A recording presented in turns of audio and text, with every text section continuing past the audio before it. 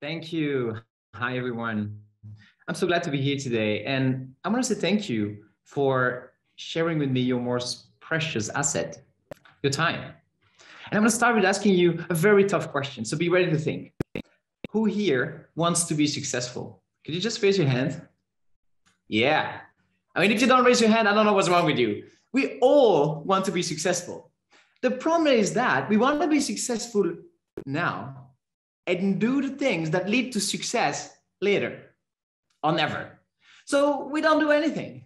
there was a time when I wanted to be fit. I didn't want to work out. I wanted to be healthy. I didn't want to pay attention to my food. I wanted to be successful. I didn't want to do the thing that leads to success. But so I did like everybody else. I complained. but what's the point of wishing for things to be different and not doing anything about it? Einstein said, if you do the same thing over and over again, expecting a different result, it's insanity. And then he was right. Life is too short. Life is too short, and I learned it the hard way. I want to share with you a moment I will never forget. It was in Indonesia in September 2018. I was there for a paragliding competition.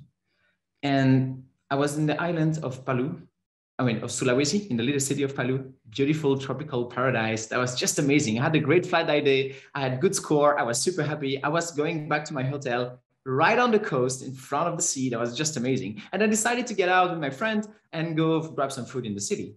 And we went out of the hotel, and maybe 50 meters further, the ground suddenly started shaking.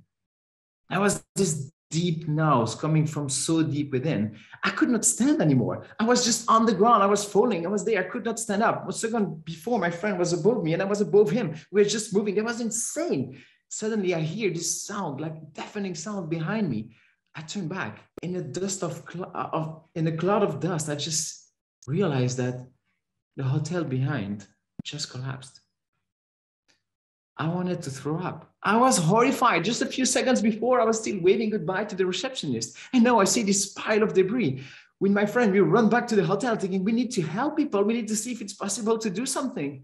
There we try to see something, and I see on the fifth floor, there was a little girl. She was trapped in metallic bars, barely touching anything. She was like floating in the middle of nowhere. I looked at her, and damn, she, there was so much fear and confusion in her eyes. My friend wanted to do a step forward to climb there, and I caught him by the shoulder. The hotel was still collapsing. A huge block of concrete just fell from the roof. We were looking at it, but we could not just not do anything. We had to go. But I would be stupid to just die just there in front of her and not being able to help anyone. So we decided to take a chance. We climbed on the debris of the hotel. We reached this little girl on, from the fifth floor.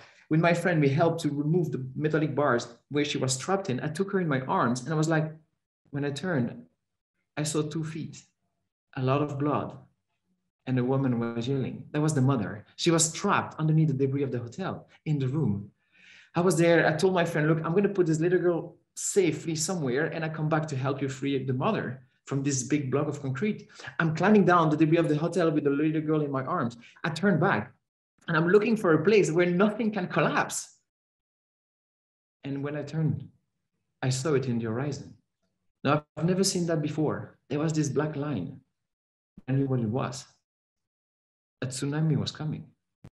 I turned back to my friend to say, Take shelter, there's a tsunami coming. You're funny. We were trapped between a collapsing building and a tsunami. We were right on the on the beach. Nowhere to go. I'm looking around, like, where am I gonna do? And I see a tree.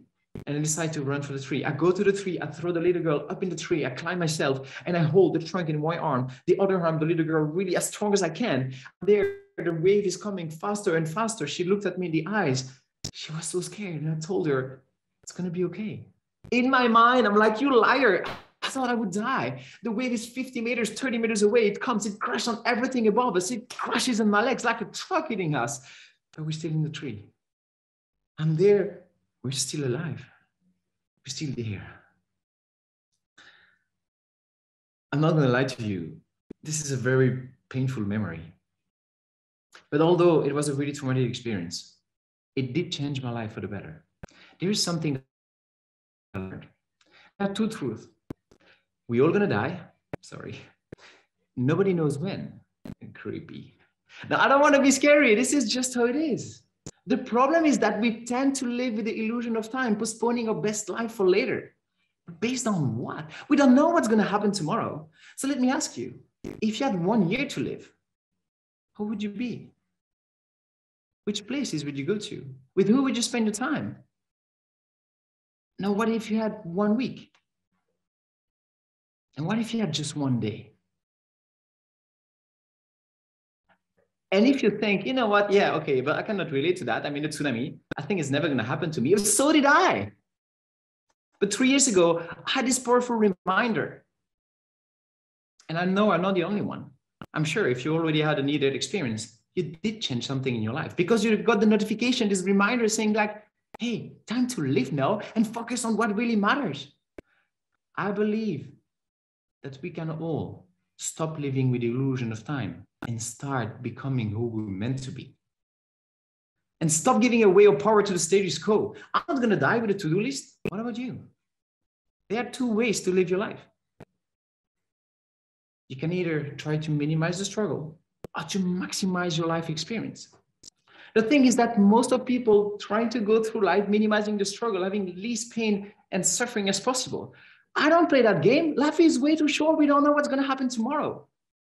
And basically, I know what you all want. Can you type in the chat what everybody in the world wants? The number one thing? Can you think of that? What do you think it is? Love, love, yeah. I'm going to make it easy for you guys. Just one word more. We all want more more love, more passion, more time, more meaning, more success, more money, more sex. But to have more, we have to be more, more committed, more passionate, more intentional. We have to show up as your best. Look, if you want to live a better life, you got to be better at life. Life is too short to not make the most out of it. What's the point of being here if it's not to create joy and share it with each other? You don't know how the future is going to unfold. So it is your mission to live every single day to the fullest and die with no regrets. That being tomorrow at 100 years old. It's a choice you can make. It is a choice that you should make. You don't need to wait for a traumatic experience. Today, I am a reminder. Today, I am here to remind you to not wait to live your best life. So are you ready? And if you are, let's have a conversation because this is what I do. I help people showing up as their best and becoming high performance leaders. So stop living with the illusion of time. Don't wait to be at the end and see your life flashing by in front of your eyes and be like, oh shit. Be bold. Play big.